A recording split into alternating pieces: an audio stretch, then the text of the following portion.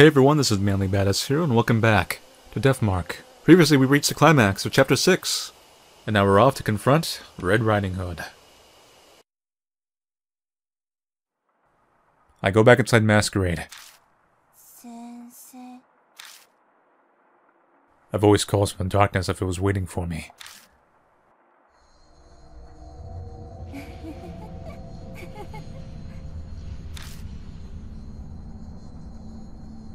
See, it flickers because it's just an illusion. The true form is a spider.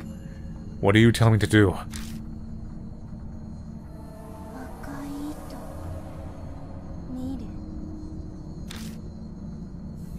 The top floor in the room of masks. The top floor. The sixth floor was listed in the guide, but it was impossible to reach.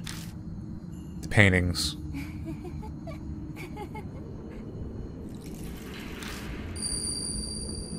Red Riding Hood's figure melts silently into the elevator.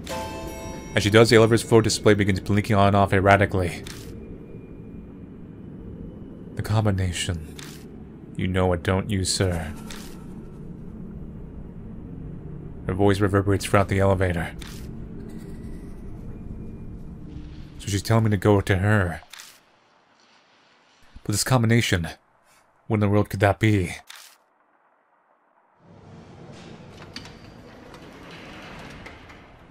Alright. Ooh, they're all lit up. Huh. The spirit vanished into the elevator. I must be able to use the elevator to get to the top floor then. And the floor display began to blink on and off erratically. Is that some kind of hint? That word she used, combination. I start the elevator buttons. Maybe I'm supposed to push these in a certain combination. If I press the floor buttons in a certain order, I might be able to get to the sixth floor. What's the order? I've got no idea. The order is based on the, the life cycle of the, the masked the masquerade wife. I've got to think. Like the cane would be the, last one, because that's like old age. There has to be a clue somewhere inside Masquerade.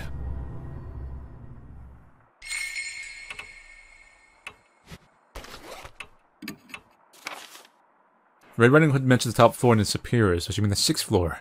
The buns only go to the fifth. I suddenly remember the word combination. It could be that the buns need a secret code to work. What should I press them in? I'm sure there's a clue in the hotel. So let's step out real quick. I want to see if we have some unique context for this dialogue here. It's a picture of a masked woman wearing a wedding gown. Marriage.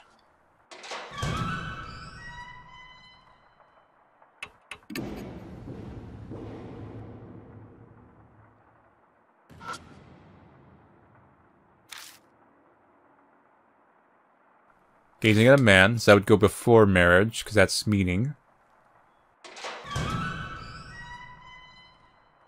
So we're gonna go that... That would be one and that'd be two. If we assume... Based on certain logic. That's not the actual number, I'm just using it to organize it in my head.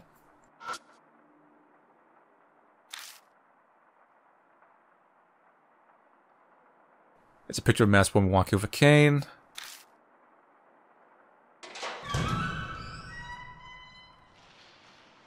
That'd be the last one.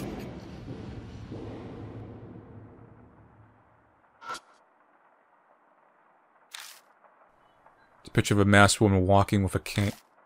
Oh yeah, I forgot the whole... The thing it loops in. You gotta take the elevator up.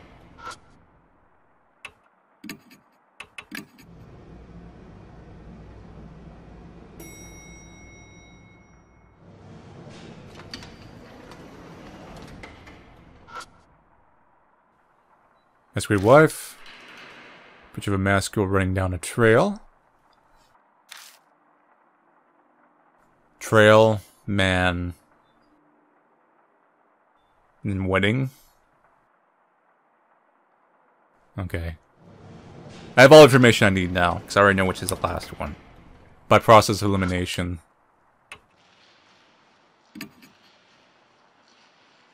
Well, let me save. Just in case it puts me into a boss fight as soon as I hit this. So we are on the, the fourth floor. And trail would be number one. Because there's no man there. So she's running to the man. And then meeting the man.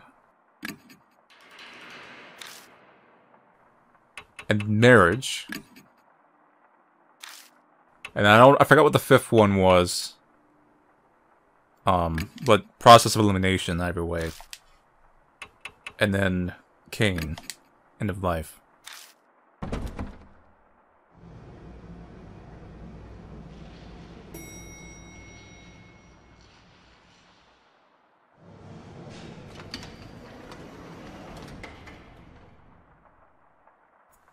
The other door opens and...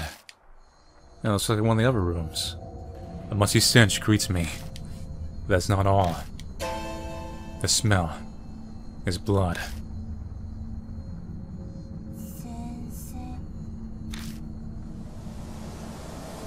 Red Riding Hood's voice drifts on the wind.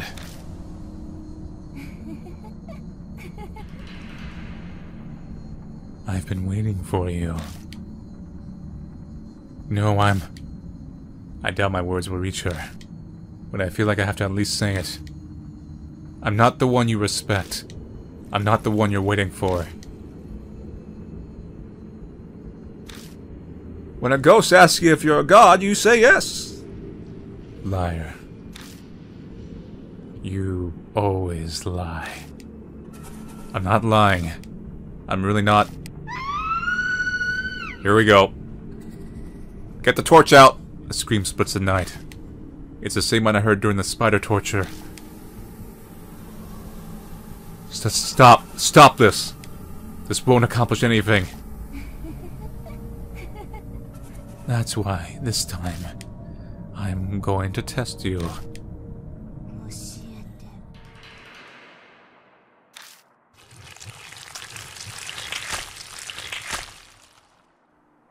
From the ceiling, really, you cliche spider. Oh boy. We saw you earlier in the elevator, that's what you were. You actually look pretty cool. I'm gonna I'm gonna admit this. It's not so much scary or it's it's actually pretty like legit. Kind of spiders fly out of the darkness and start crawling over my body. Alright, the spiders are scary though. The swarm of spiders keep coming.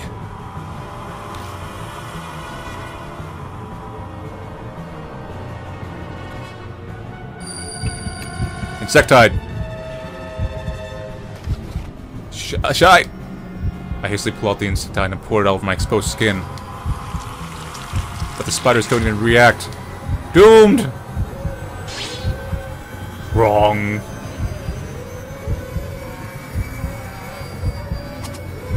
A sharp pain runs through my neck. Ugh.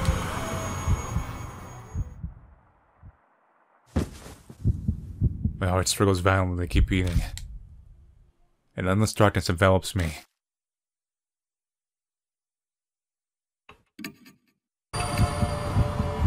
Or is it the sprinklers? Shite! Take a massager out of my bag, hold it against my body, and hit the switch. This worked before. The spiders start acting strangely. They all scramble away. Safe. Riding Hood lets out a gusty sigh. Glittering white threads fly through the air from her mouth. She's trying to use her spider silk. Sprinklers this time. Jacket. Wooden horse head sounds so stupid it's gotta work. I hold the horse head over mine as protection. Strangely enough, the threads seem drawn to it only wrap around the horse head. Safe.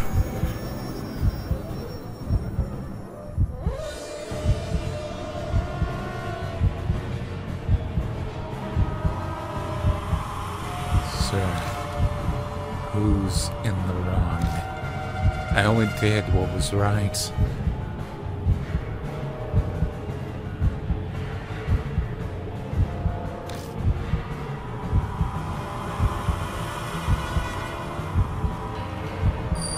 Let's go to hell. It's a law to decide.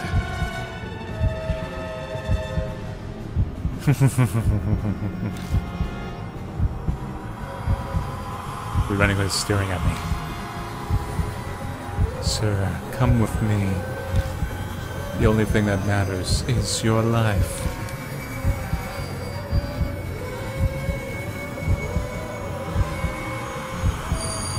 How do you know a person's worth?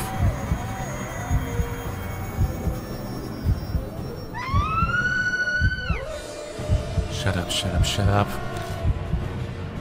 It screams again. And then bending eyes glare at me.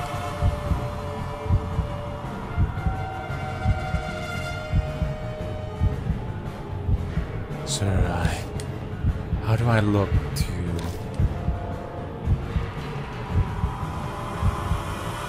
Like a little sister to me. Met too late. You're too young.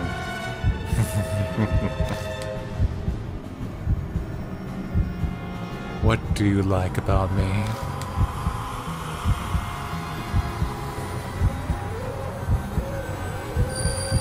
Your honesty.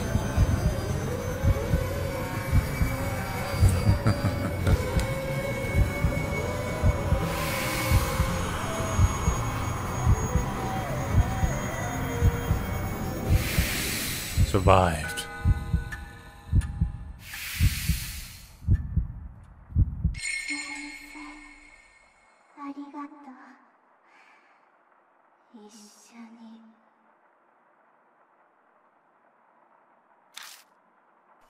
Everybody, let's figure waivers and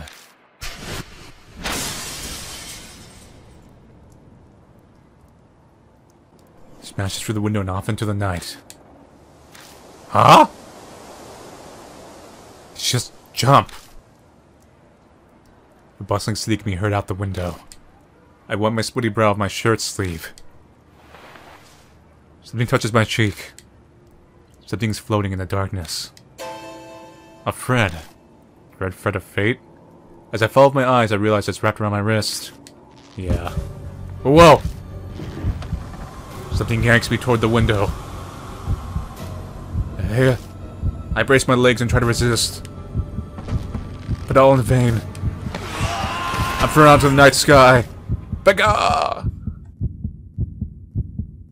I scream as I plummet. No, I should be rushing toward the ground. Just as I give up all hope. Mashita! Holy crap! A strong jolt makes me look up. A man struggles to hold on to my arm, his teeth gritting with effort. バカ野郎が Mashita. Shut up and give me your other arm. Hurry up! Grab onto me. Right.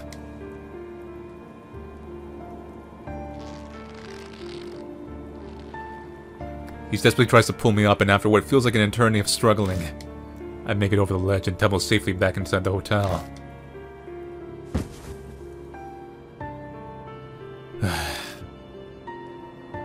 The only sound that can be heard is our gasp for breath as we sit in the darkness. Why did you ignore my orders? Masha spits out words between wheezes. Sorry. This isn't the time to be making excuses. I might be better off shutting up. Idiot. Try putting yourself in my shoes. Is she... gone? I think so. The window. I'm still trembling as I point to the broken window. She threw herself out on it. She might have been trying to take me with her. No, not you.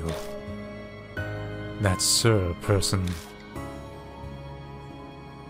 Yeah, I suppose you're right. Can you walk? Then let's go. Masha slowly stands and looks at me.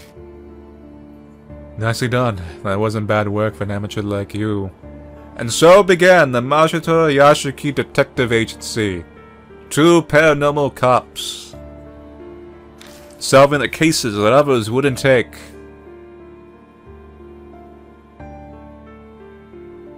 With the loving mascot, soon to be in 20 years, Mary. It stopped raining. The cool wind in my cheek hinted on him. I'm going to drop by and see Diamond. I'd like to see how the others are doing.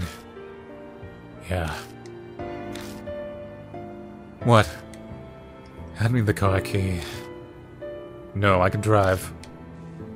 Have you completely gone mad? Look at your hands. I glanced down at them, only to suddenly realize they're still shaking. You just faced down a spirit. You can't drive in that condition. The choice made for me, I take the key out of my pocket and toss it to Mashita. The corner parking lot. Right. You rest here. His figure melts into the darkness. As I watch him go, I notice something down on the wet asphalt. It's... a spider. She jumped out the window and died.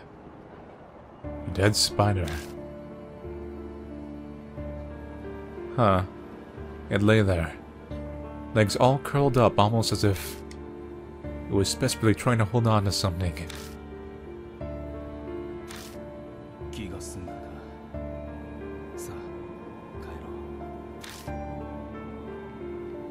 I gently picked the spider up.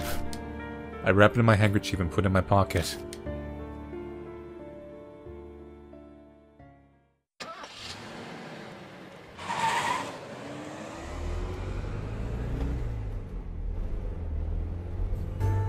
Car ride back is a blur. I and let Mashita's voice wash over me like background radio noise. I remember wondering if Red Riding Hood might have stolen a part of my soul. Before the investigation today, Moya tipped us off on that testimony, remember? That helped me connect the dots. I realized a teacher was wrapped up in the case. A teacher from a school near the hotel was arrested for breaking the law. That's... What does that have to do with anything?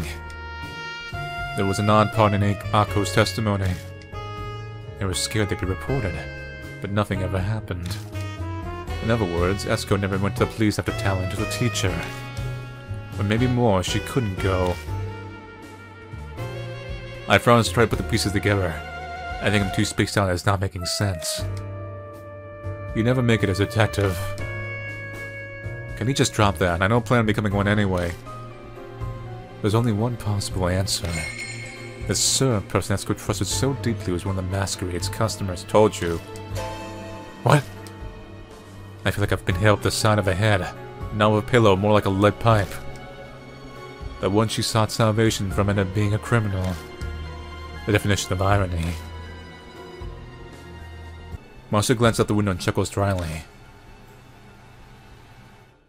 The bitter sound fits both our moods. It was the teacher Nomura, the one mentioned in Ako's testimony.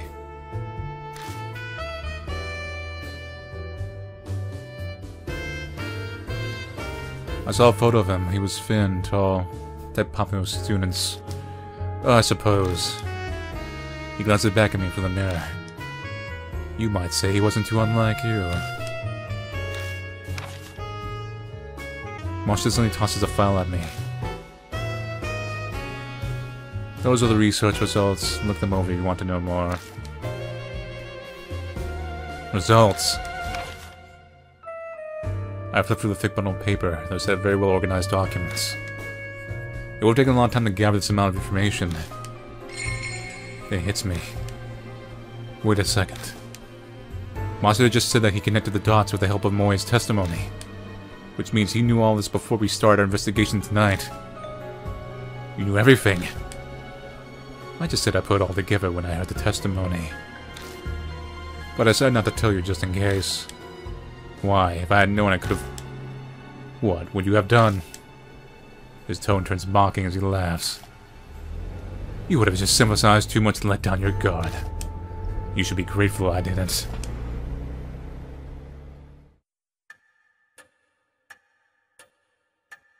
Masha leaves me with a research file and heads to Diamond's hospital. Now I'm alone, I can't keep my three hospitalized friends out of my mind. But there's nothing I can do for them right now. I've done everything I can. I bolster myself with that information. I spread Masha's document on the table. I'm exhausted, but I feel like I need to go for them today. Who in the world was Red Riding Hood? If Mashita's right, the truth should be right in front of me. I faced Red Riding Hood on the sixth floor where she had waited for me. I managed to drive her back, but she only takes me for her until Mashita saves me in the last second. He's furious with me for disobeying his orders. I'm given this research file in the hotel. This is what it says. Esco telling to her homework teacher Nomura about the job is what started it all. Nomura proposed to Esco that they gather evidence first. I told you, see that also. And they arranged to meet at Masquerade that night. The only thing waiting for Esco there was betrayal by the teacher she was in love with. It turned out that Nomura himself was one of the Masquerade's customers. No one knows what exactly happened to Esco. She was found wandering the streets in a red raincoat and immediately admitted to a facility. Unfortunately, her mental state was too far gone already, and she committed suicide by throwing herself from a sixth-floor window of the hospital. The night she died was cold and raining just like today. Sixth floor, because the sixth floor is where it happened, too. The report has info Nomura as well. When he was arrested for other illegal activities, he ended up testifying about Masquerade as well. Having a partner wear all red was code that you were planning to use the deluxe suite of the hotel. That could be the reason Esco wore that red raincoat that night. Not long after the trial, Nomura apparently hung himself in jail. I still probably think he was the one who did the spider torture. I feel like he was just that twisted. To add to like the, the, the whole tragedy of the situation. Most for today.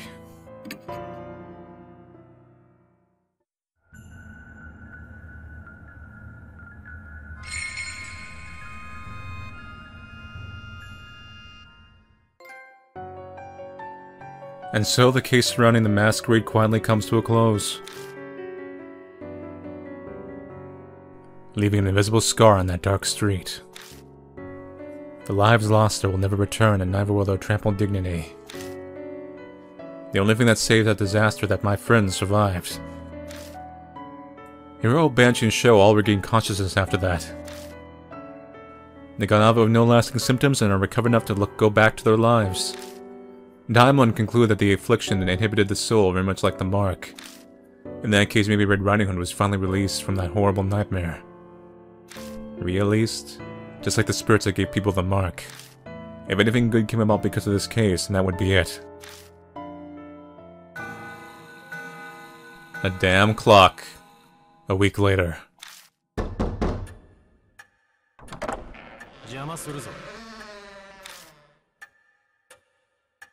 Mashita suddenly shows up on my doorstep. Before I even open my mouth, he pulls out an envelope and tosses it on the table. I'm here to deliver this. It's a reward. Take it and get out of here. I didn't do it because I want a reward. Listen, it's money. Free money. Take it. How should I know? The client asked me to do this, that's all.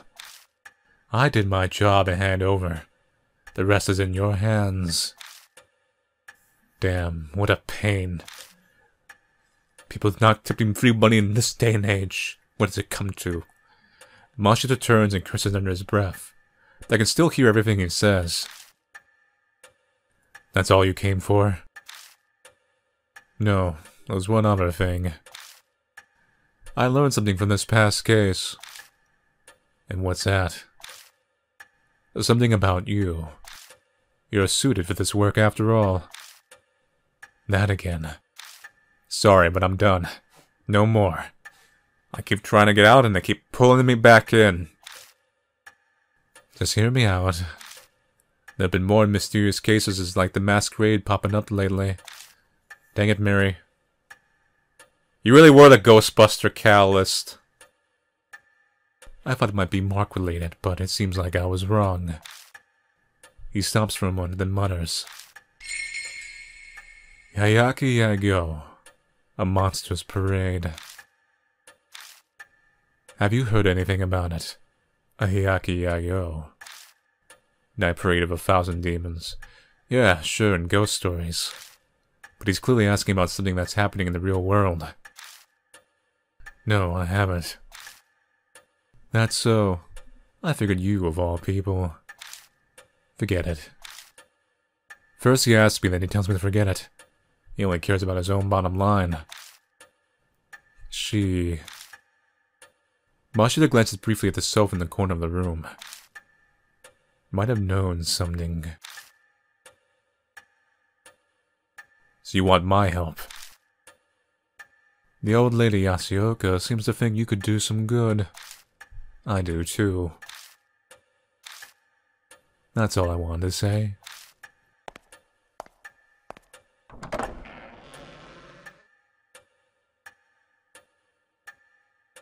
No, wait. I have one last bit of advice.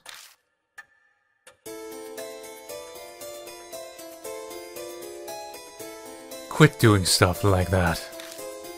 Like what? You picked up that dead spider, didn't you?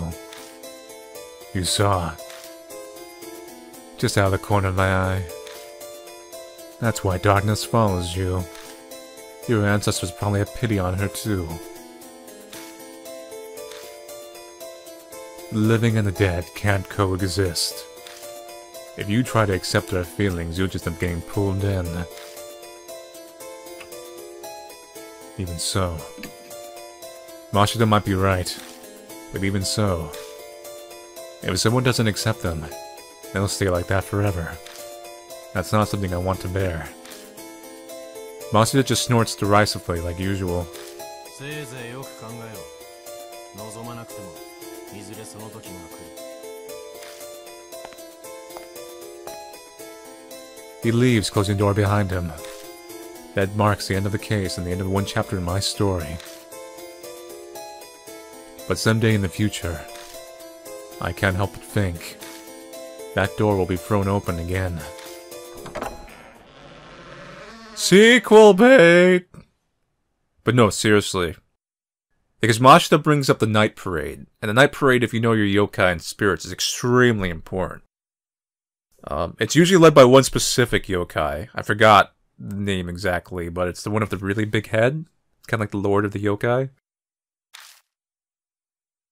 So that that was sequel bait, basically. It's like saying like, well, we defeated Mary, but now all its yokai are gonna appear, and you're gonna eventually join me to be a paranormal cop. Like, obviously, it's not something that's gonna come out right away, but they left the door open in case they ever want to revisit the series. And this is obviously a world that does have a lot of supernatural stuff going on. And it just moved back to the beginning of the game. So that is the end of the game. Like, that's the end end. No credits. The credits came earlier. So, I mentioned sequel bait. And funny enough, I actually looked it up um, out of curiosity as I was going through the art book that I came with my limited edition of uh, Deathmark.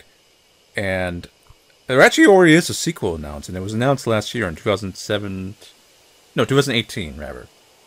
Uh, the game came out in 2017, Deathmark it is, but this game was announced um, in around April 2018, and it's called NG, which stands for No Good, and it is a confirmed sequel to Deathmark, uh, and it's I'll, I'll go over a little more, but it, it does actually quite literally flow into the uh, the yokai night parade thing that was mentioned here. So this that DLC, which is part of the main game for the American release, was actually sequel bait. So that explains that. Uh, and the art book does also go into Mary's backstory, uh, pretty much. So I'll go into that um, after I get the the bad ending here.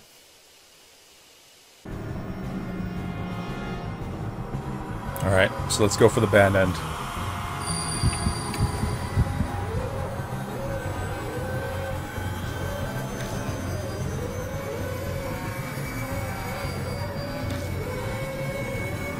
So since we've already kind of seen this dialogue, unless I see something new, I'm uh, not outright skip, but kind of go through it a little faster.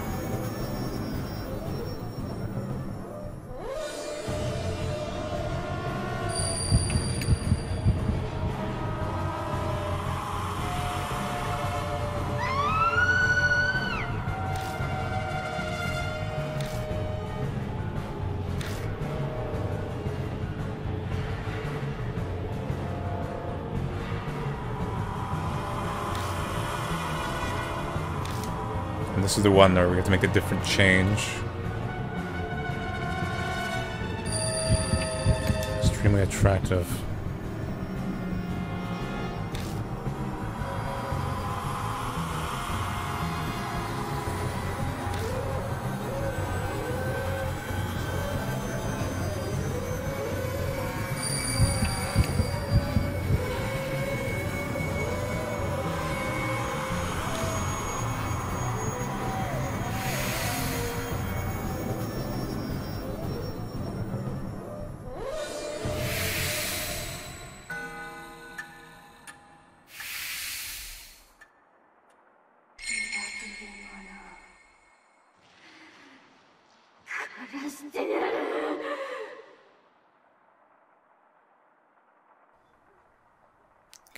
Traitor together.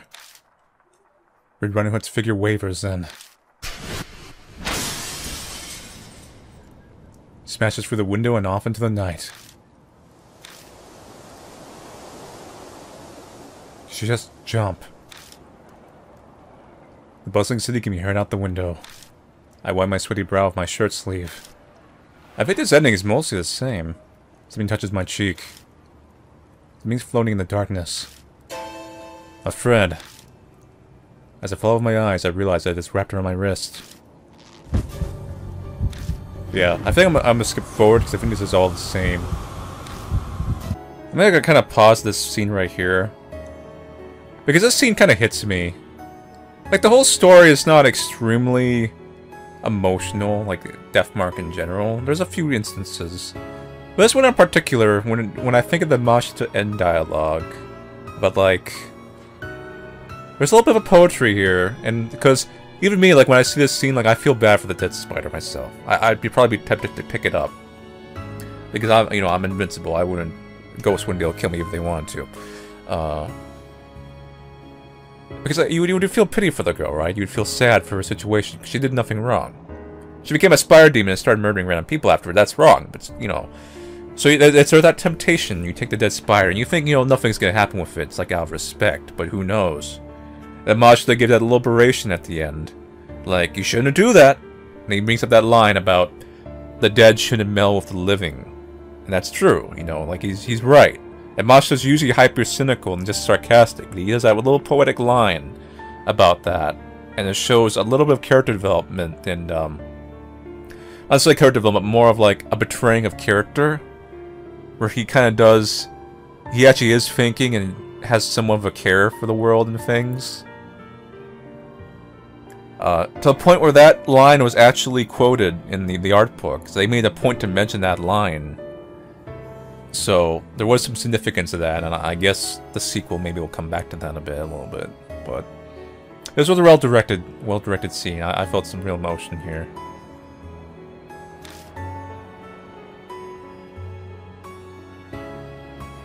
Especially right here, like it lay there, all legs all curled up, almost as if it was desperately trying to hold on to something. It's really sad. That's sad to me.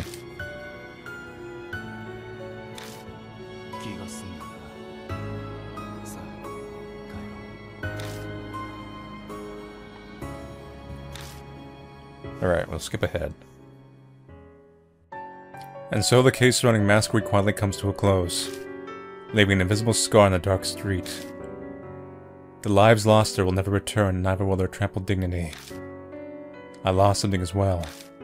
Hiro Banshee shows conditions worsened after that. They were immediately transferred to a larger hospital. Because of that, they nearly escaped death, but their psyches will remain forever damaged. According to Daimon, the chance of them recovering, ever recovering are very thin. To have this happen to people who were only trying to lend me a hand. Maybe it would have been better if I just died from the Fallout Masquerade's window. I struggle to get through each and every day. If this is Red Riding Hood's revenge, then I can admit that it's effective.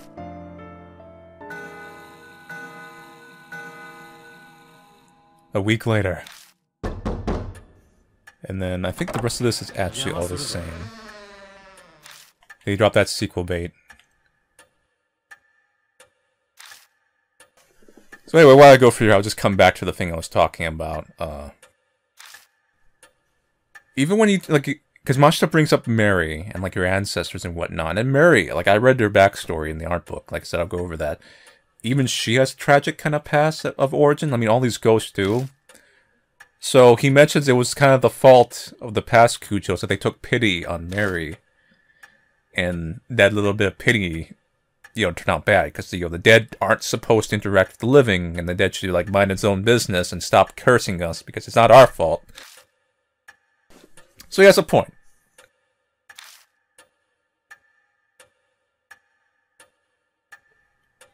Once again, like I said, Mary is kind of scary because dolls are scary. Like even when I was a kid, I was scared of dolls. But I think a lot of people would have that temptation, that pity would come up where you think, I gotta put the spirit at rest. I just can't, like, toss away the doll. When you should probably just burn and toss away the doll.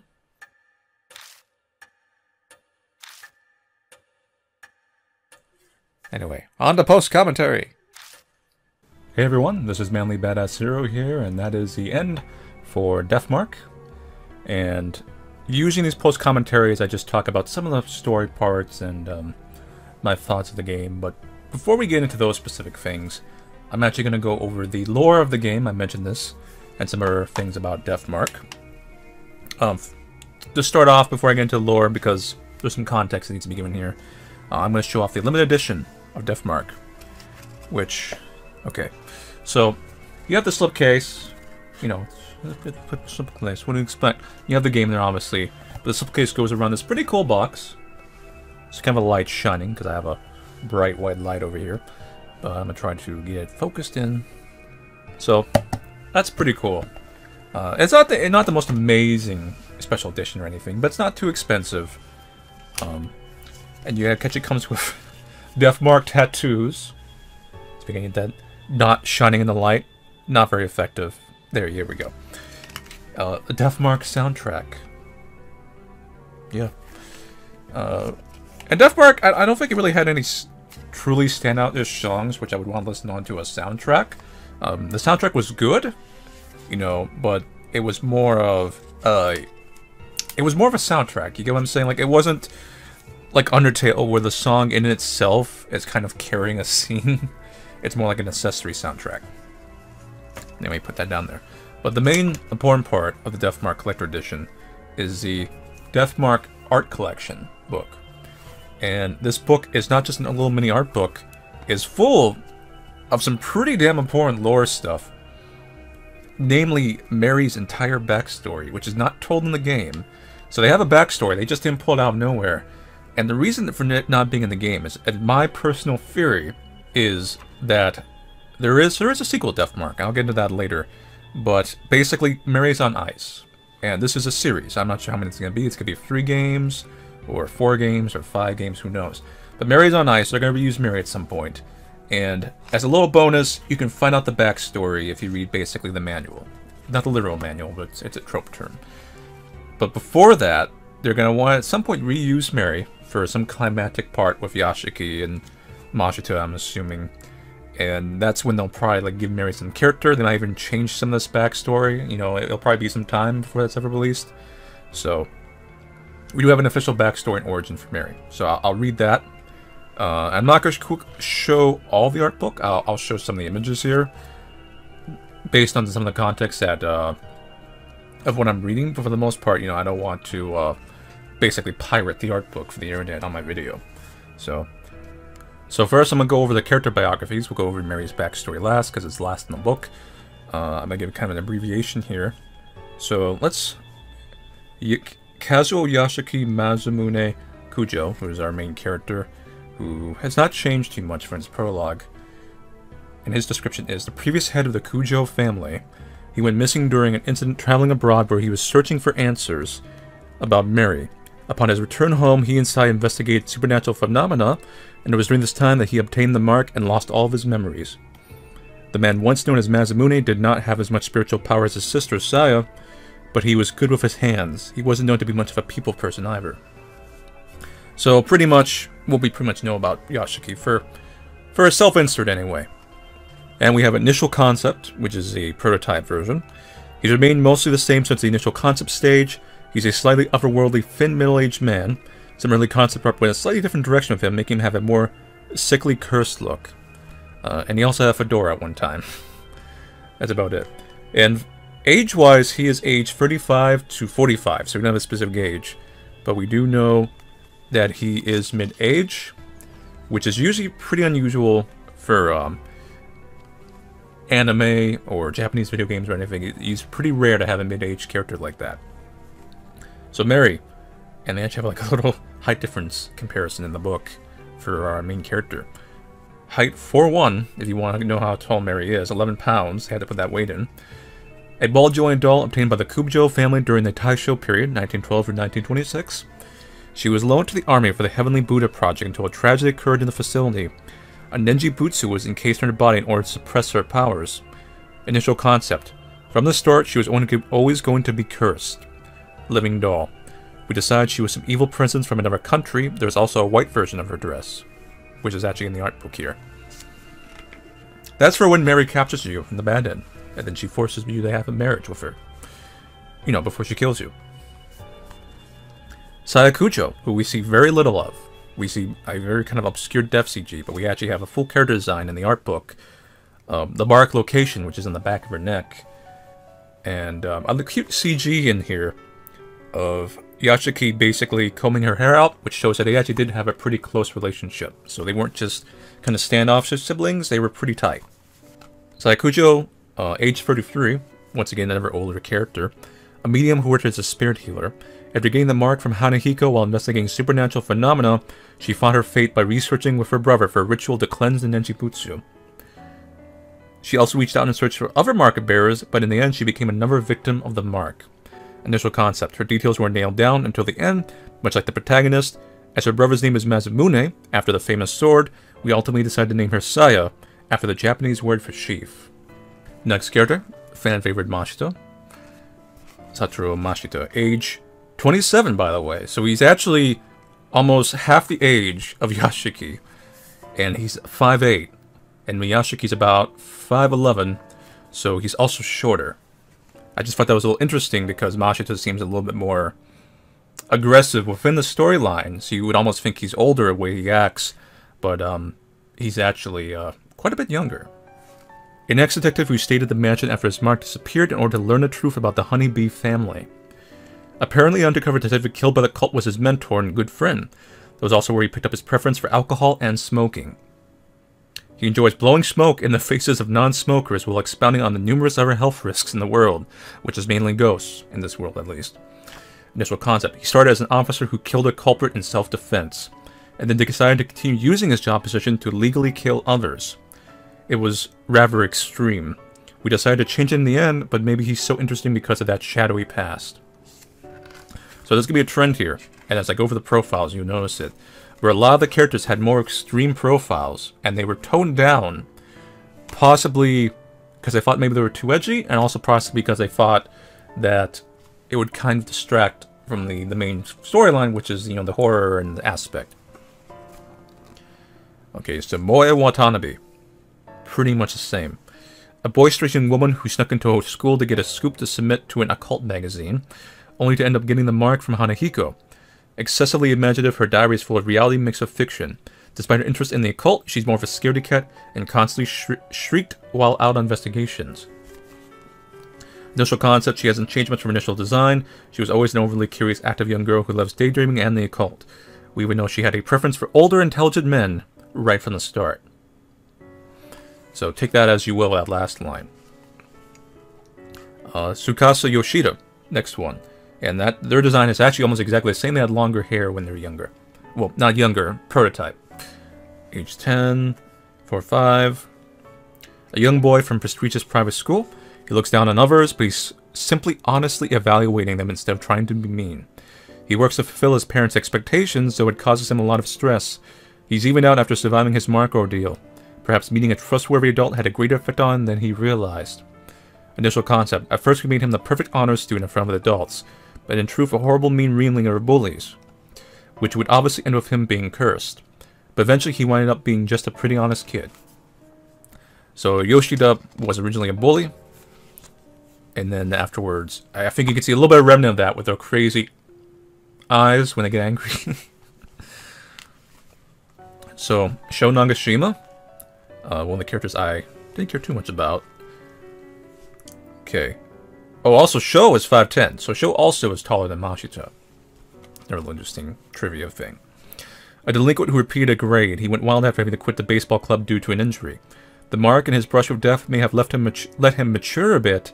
He's recently joined a neighborhood baseball team and is acting like a proper member of society. His baby is his two-stroke off-road dirt bike. His dream is to buy a 750cc motorcycle, so he diligently works hard at a local bar to save money. Initial concept, he was always going to be a hothead delinquent who repeated grade and caused trouble for a baseball team. But partway through we added his fear of the supernatural, so they made him more of a coward. Aside from that, mainly the same character.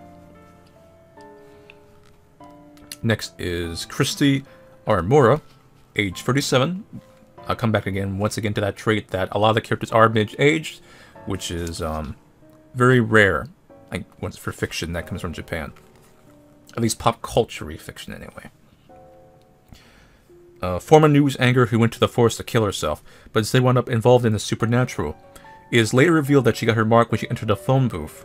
She has good spiritual sensitivity and often sees spirits, which could be due to her diverse heritage spanning multiple countries. So, Christy Aramura is basically, she's mixed, uh, hence the name Christy. And incidentally, she doesn't really have a black belt in Taekwondo, but she is a certified level 2 spa expert. Initial concept A person blacklisted from entertainment and journalism for situations revolving around improper remarks and fooling around. Our initial idea had her egotistical and crafty, but later we shifted her to have a more weak, timid side and added in her contemplation of suicide. So Christy was more smug, basically, and they kind of added that more melancholic, laid backness to her. Here we go. Uh, my personal not favorite. Eita, Eita Nakamatsu, otaku guy, age 33. A nerdy guy who lives the manga-like experience of a cute little girl treating as her older brother. To try to be a better role model, he went to the employment office to get a nice job at a warehouse. Christie's wary of his relationship with Suzu and keeps a close eye on him. He seems to only want to act like a good big brother. He still regularly visits occult BBSs, of course. Like 2 channel. Initial concept, and here's here's one of the ones that was much more extreme.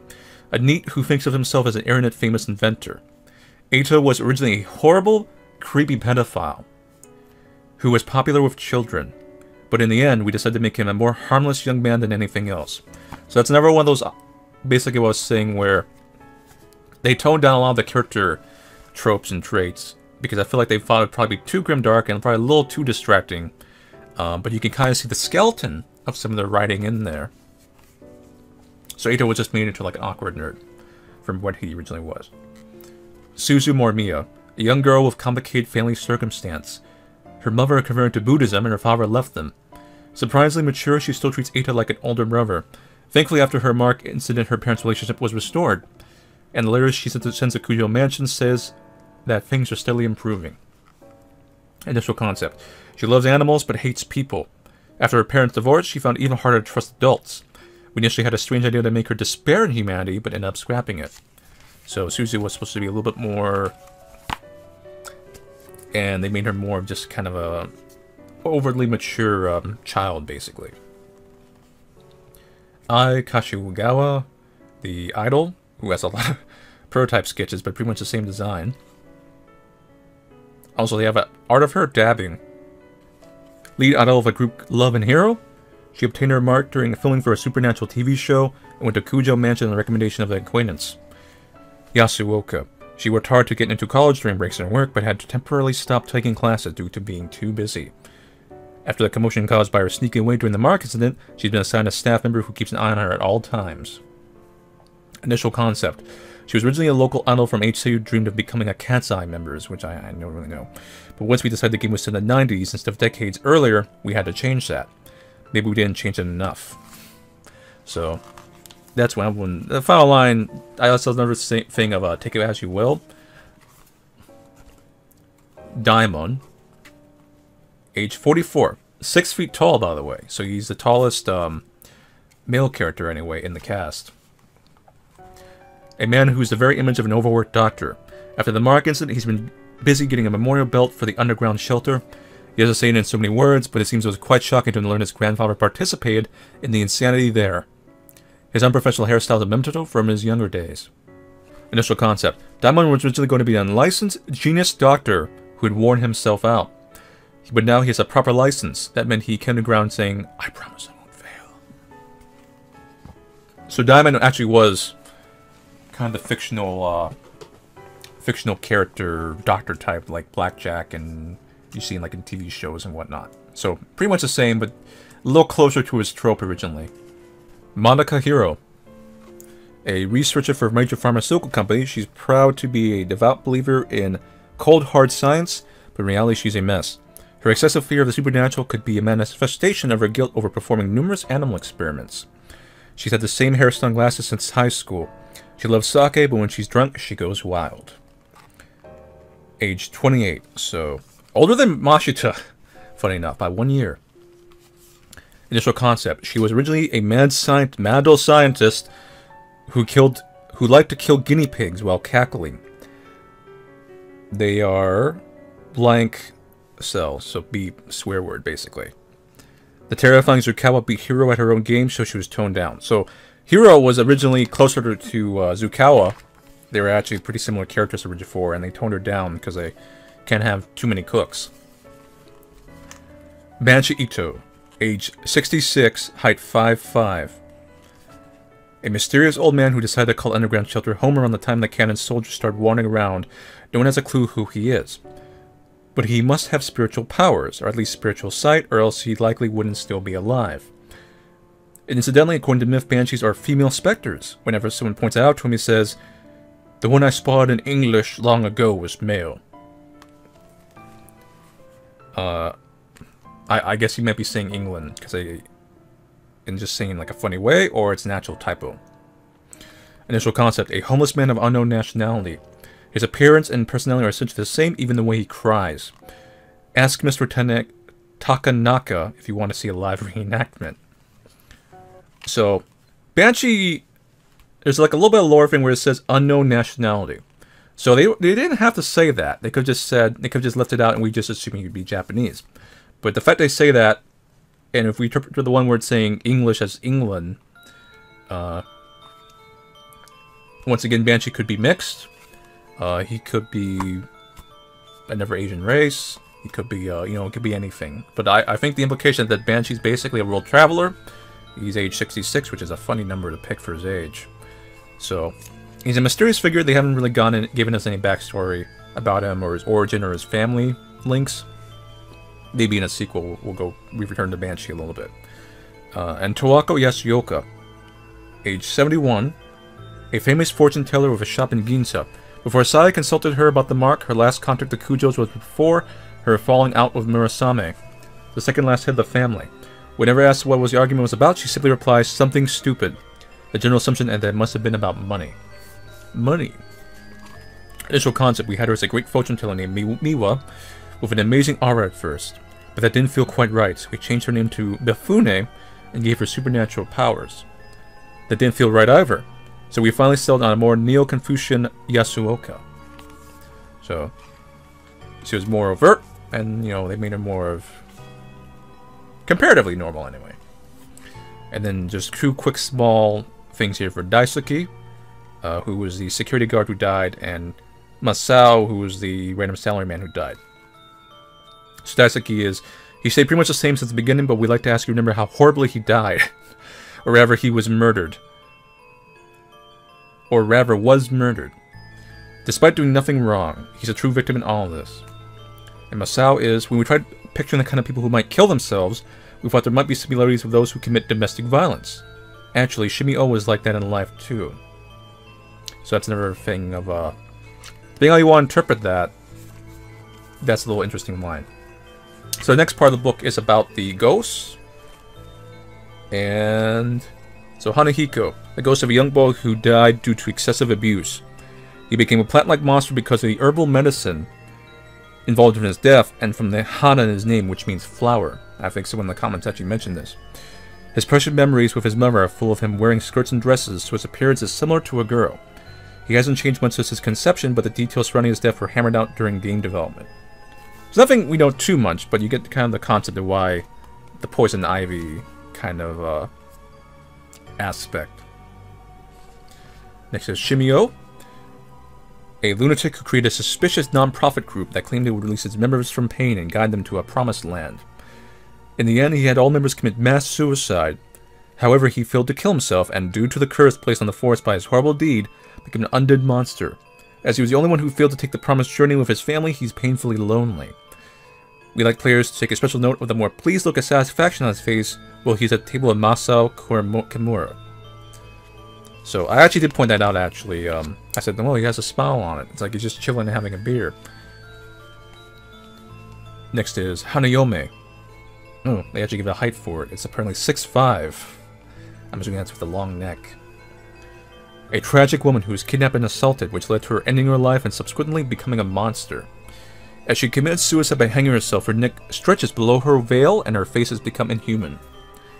A special mention goes to her fiance and her beloved dog, Genta, or Genta.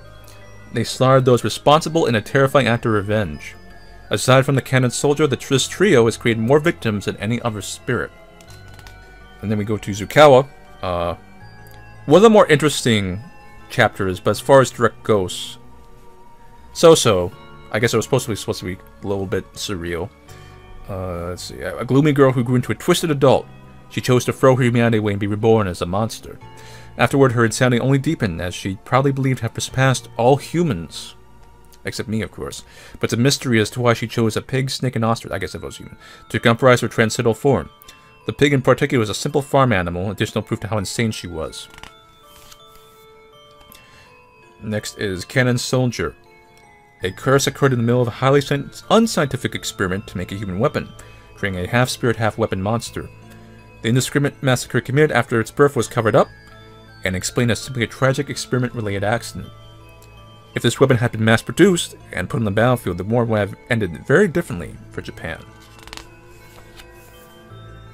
And then Red Riding Hood, as they call it. And we actually have a full sketch of the, the sprite for the monster form, which we don't see in the actual game. A girl who tried to expose a crime, but was abducted and tortured by someone she trusted who ended up being involved.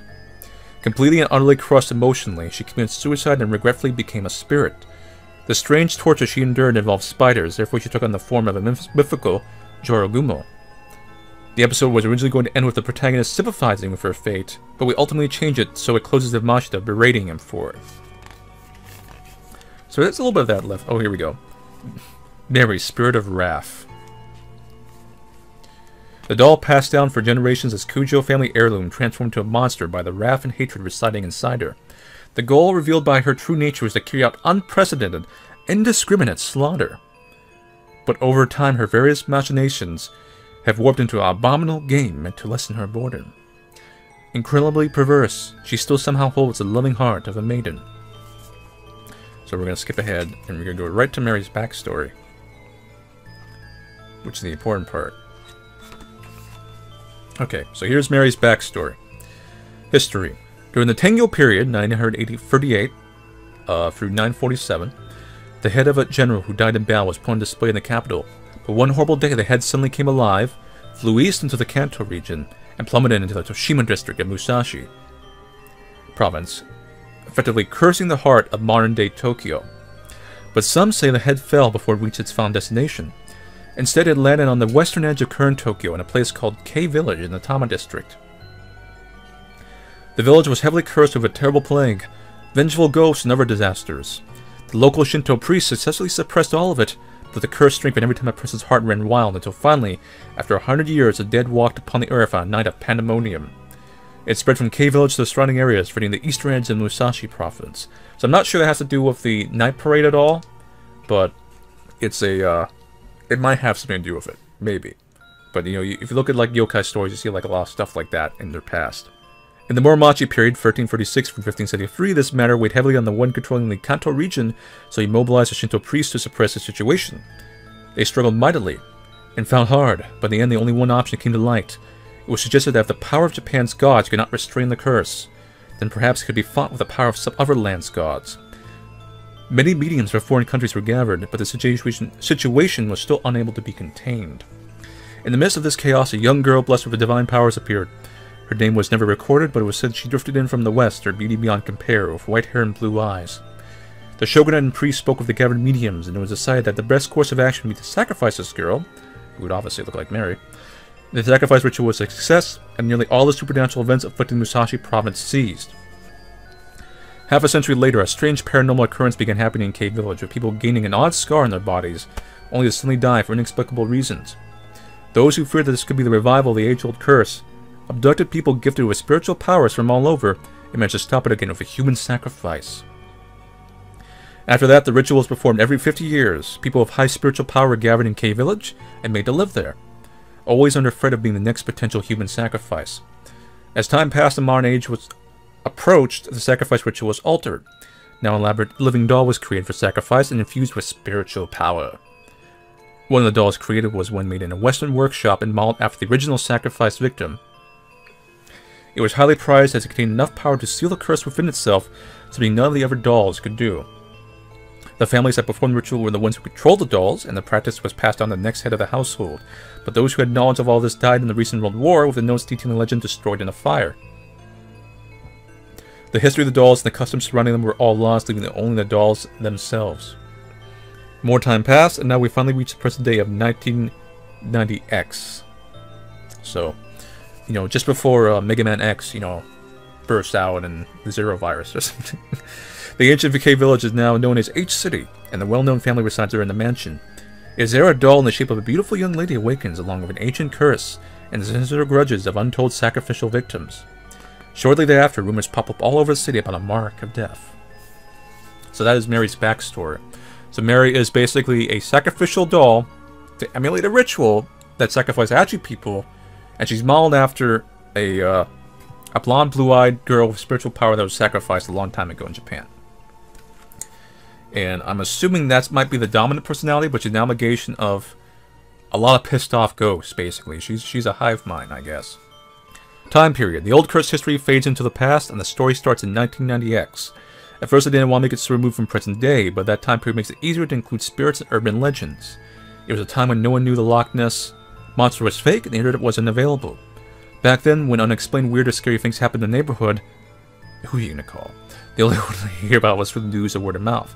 That's why the setting is in the 90s when IT hardly existed, cell phones were just in their early stages, and net was only a cluster of bulletin boards. That only a certain subset of PC users accessed, It was a time of dreams, when the turn of the century was still in the future, and Nostradamus' prophecy of the great king of Angolmois had yet to come. So this is just all director commentary here. The game is set in H City, which is of course based in Hachioji City in western Tokyo, where a company experience is located. But to make it more supernatural, we create a large Han forest based off the Aokigahara Suicide Forest, which is much further west. Well, to be honest, the Tama region has plenty of haunted areas as it is. And here is the original idea was to make it a horror RPG, which is the remnants of, obviously, instead of an adventure game. But regardless, it was always going to be a horror game, so naturally set in a mansion. But after we decided the story would have the protagonist returning home after losing his memories, we switched it to more of an adventure game. I remember my staff getting angry because they thought combining amnesia protagonists and a shady western mansion was too fantastical, and creating a scary atmosphere for a horror adventure game would be too difficult. Plus, some of the RPG elements remained in fact that supporting characters all had very specific roles. So to ground it more in reality, we eventually ended up with the same characters we have now. So for better or worse, thanks to all the scrapped characters, the current cast ended up with my extremely ended up with extremely unique personalities. My personal favorite is Aeta, the spookiest of the supernatural. We had to make the players and ourselves feel scared, so I wondered every day about why everyone finds ghosts and supernatural events so terrifying. So I tried tapping into very, my rational imagination. The very existence of ghosts is already irrational, with no scientific basis. But that's not what's important. The dead kill the living indiscriminately, which means their hatred revenge isn't targeted to one specific person. Anyone who runs into a spirit would end up killed.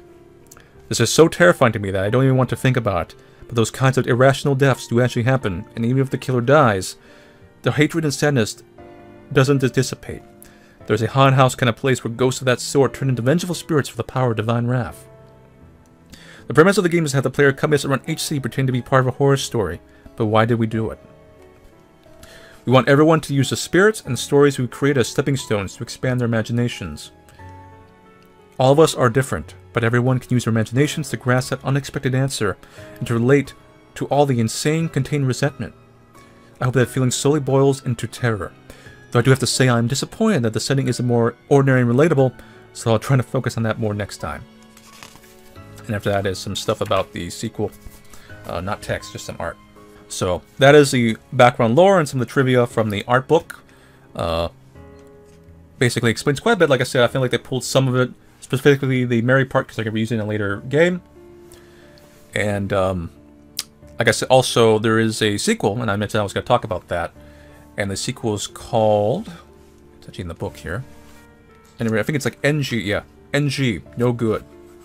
That's what it's abbreviation for. it? NG, no good. And it is a direct sequel to Death Mark, but does not star the previous main characters. So it's a new cast. It's a overall younger cast, and the theme is outlaws. So the main character is a younger character who is a uh, basically he's a punk, does a lot of street fighting. He's looking for his sister who's been spirited away. And it does have to do with the whole March of a Thousand Demons, the yokai starting to appear everywhere, and there's stuff going on. Uh, and the rest of the cast are um, basically shady people like Yakuza, uh, and so on. So it's Outlaws versus the Supernatural. It's same game, they said, and it's supposed to be a refined version of it. It came out in July of this year, and it has not been translated yet. So, and there's no plans, I think, maybe they're thinking about behind the scenes, but there's no plans so far for a Western release. Uh, but the main thing is, is that they said they refined and improved the gameplay. That it's supposed to be a little bit more down to earth and kind of urban per se. They didn't say urban, but that's what I feel like they were trying to imply. Like it's normal people, daily lives, not so much a kind of melancholic older cast anymore. And the game has amped up the horror. In fact, it's extremely gory.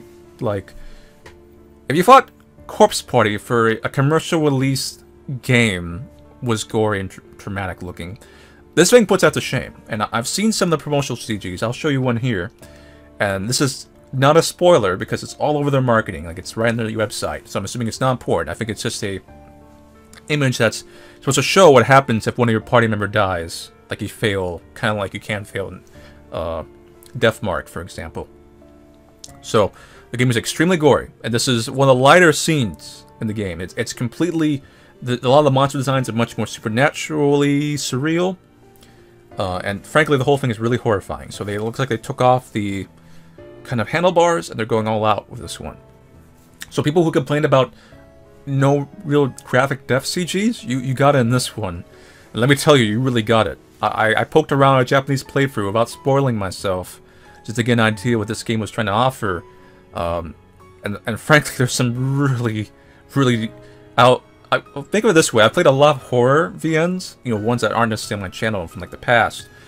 Uh, and this is probably one of the goriest ones I've seen. More gory than Gore Horror Show. Let's think of that way. that that title alone should be telling you like how gory this is. So I'm looking forward to the sequel. Um, if you like Deathmark, I definitely recommend, frankly, going to buy the game. It's on the Switch or the PS4. It's a console game. There's no PC release. Um, you know, go support it. Ideally, even if you watch this playthrough, maybe you know even vocally support. Show Aksys that you know there's a fan base developing here, and there's a lot of demand. Maybe you know we want to see the sequel in the West. Uh, hopefully, it would not get censored. But usually, usually America they don't care too much about violence. Um, usually, they only censor sexual things, kind of like the spider part, I guess. Um, so hopefully that, that wouldn't occur. But yeah, so that's it for my summary of the, story and the lore and everything, and talking about the sequel. Um, I'll, I'll, do a quick review of the game, I guess. Uh, but basically, I like Deathmark. It's not the greatest kind of adventure game visual novel. It's not a true visual novel. It's not a true adventure game. It's kind of halfway there.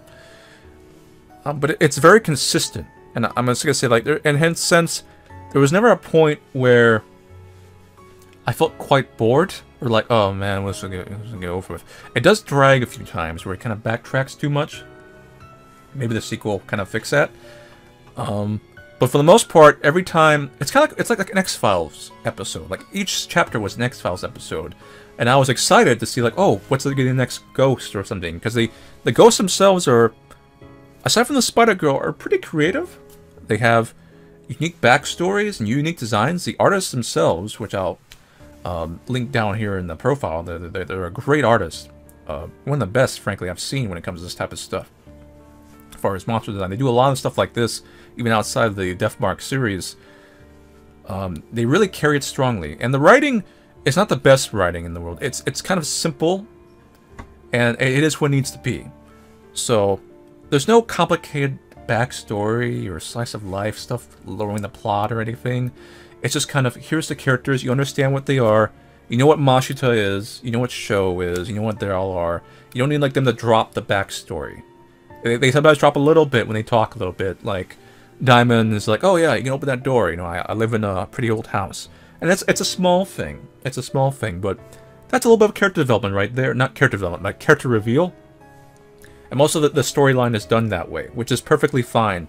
So we're not dragged down of like, well, here's Daimon's backstory, and I have a tragic past where I helped so many patients and everything, and uh, stuff like that. Mary's story, Mary could have gotten some more screen time in her evil form, probably. Um, and like I said, the only reason I think her thing was so short is that they're saving her. Like, they were like, well, we're going to make a sequel. Pull her back. We need to use her again. She's going to be a big bad. So that's all I can think of. And this is kind of a spoiler for NG. No good. But I did check out the post-credits scene to see if there was another game coming after that. And um, Yashiki does appear in it. He does appear in the post-credits scene. So it looks like he may have taken Mashita's offer, or at least doing on his own, to becoming a paranormal detective cop. So the third game, maybe that's going to be Yashiki and Mashita again. Who knows? But yeah, Deathmark. Very, very solid horror adventure game. Uh, it does, like I said, does have a few flaws here and there, you know, as far as like small pacing things or stuff like that. But one of the most consistent horror VNs I've played, anyway. But yeah, anyway, thank you all for watching me play um, or read Deathmark. I'll see you guys later, and take it easy.